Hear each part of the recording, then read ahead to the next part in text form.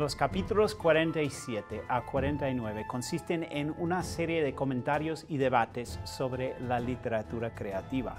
Por ejemplo, si se deberían censurar las comedias, si el gusto de los lectores justificaba la existencia de ciertos libros, y si las novelas de caballerías contenían verdades capaces de enseñar algo, o más bien contaban locuras y mentiras que dañaban a sus lectores.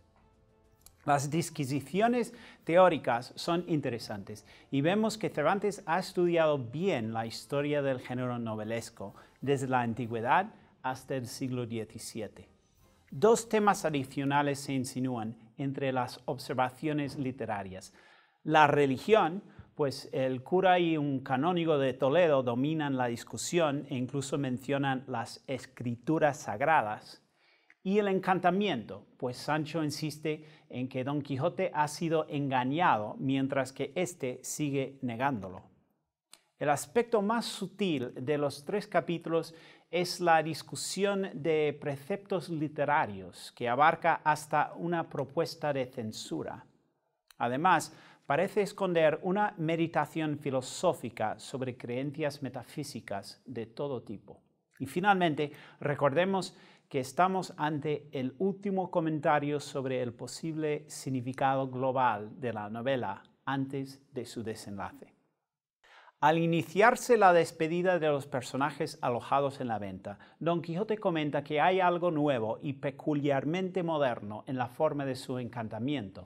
Quizá la caballería y los encantos de estos nuestros tiempos deben de seguir otro camino que siguieron los antiguos. Sancho se acerca a la jaula en la que Don Quijote se encuentra encerrado y afirma que estas visiones que por aquí andan, que no son del todo católicos. Sancho habla de manera figurada, quiere indicar que algo raro pasa. Sin embargo, Don Quijote toma sus palabras de manera literal y su reacción insinúa cuestiones religiosas y metafísicas en términos de la investigación empírica de las apariencias. Católicas, mi padre, ¿cómo han de ser católicas si son todos demonios que han tomado cuerpos fantásticos para venir a hacer esto y a ponerme en este estado? Y si quieres ver esta verdad, tócalos y pálpalos y verás cómo no tienen cuerpo sino de aire y cómo no consiste más de en la apariencia.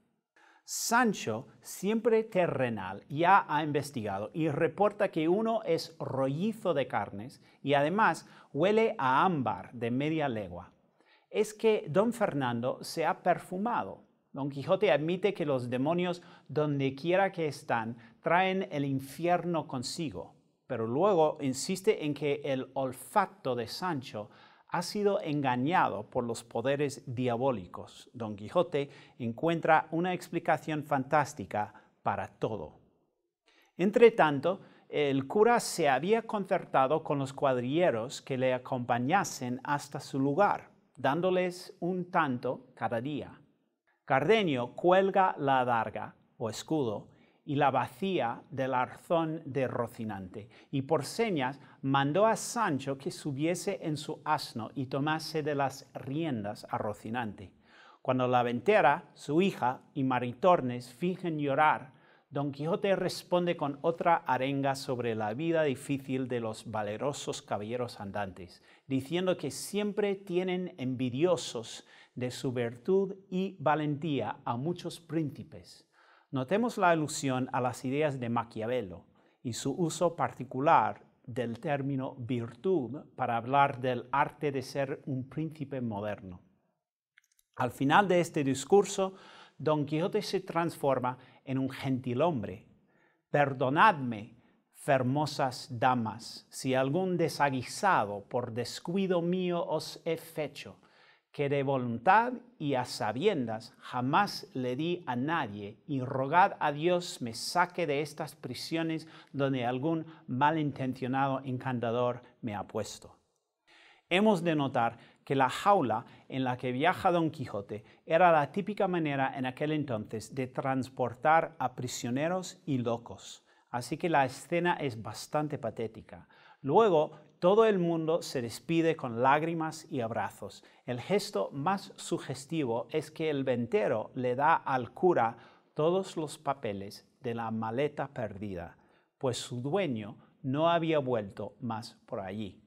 Los papeles incluyen la novela del curioso impertinente, como también un texto nuevo, la novela de Riconete y Cortadillo, texto picaresco que Cervantes mismo publicaría entre sus doce novelas ejemplares de 1613. El autor nos ha dado otro toque simultáneamente autobiográfico y genérico a la salida de Don Quijote de la venta.